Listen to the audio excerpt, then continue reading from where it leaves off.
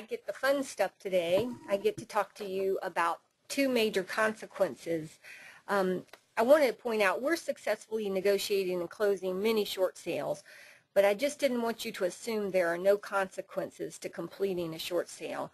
The first um, consequence is the income tax issues, and the second we'll talk about are deficiency judgments.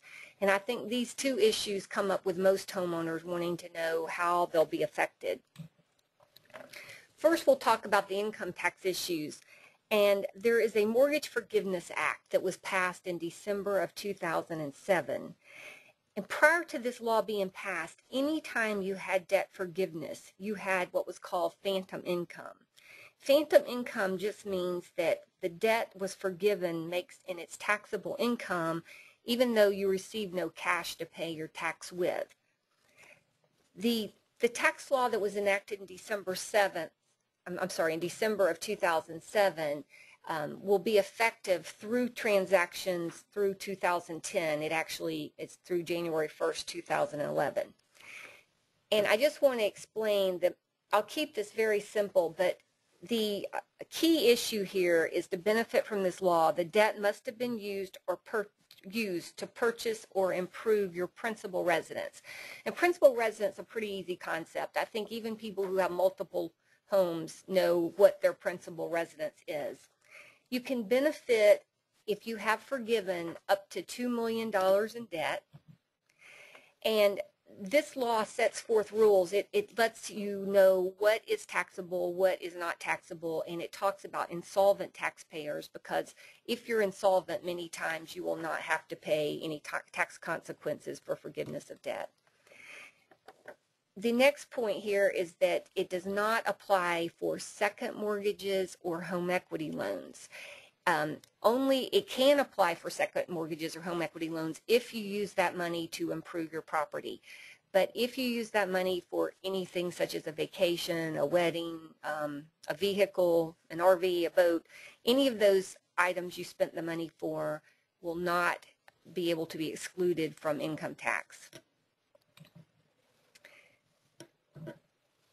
And pointing out the investment properties and second homes are not eligible. So again, it's a pretty simple concept.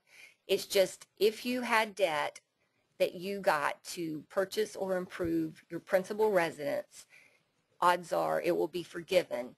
Now, I want to make it clear, the lender is going to send a 1099, or at least the lender should be sending a 1099 to you, showing that you have income if they have forgiven any debt.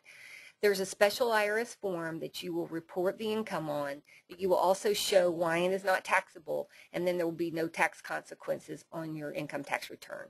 But again, if it's a second mortgage or a um, home equity loan, you could have some issues and you'll probably need to ask your tax advisor.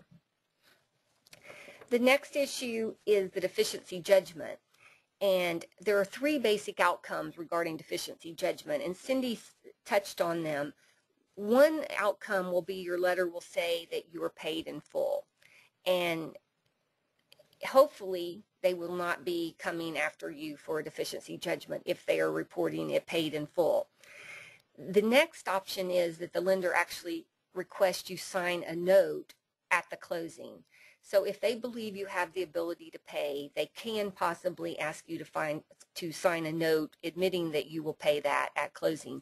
We have not been seeing that, but that is something the lender could do.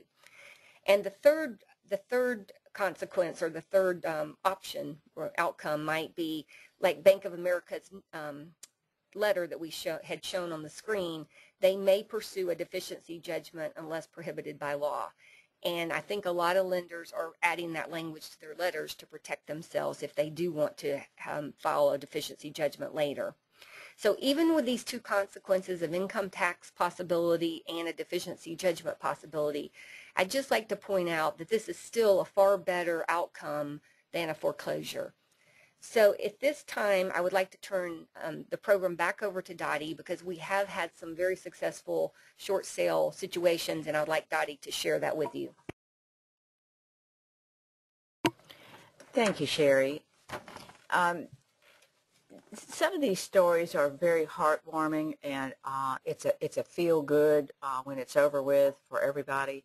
And this is one of those stories where I had met uh, some friends of mine in the local grocery store. Um, and of course, the conversation always comes around to real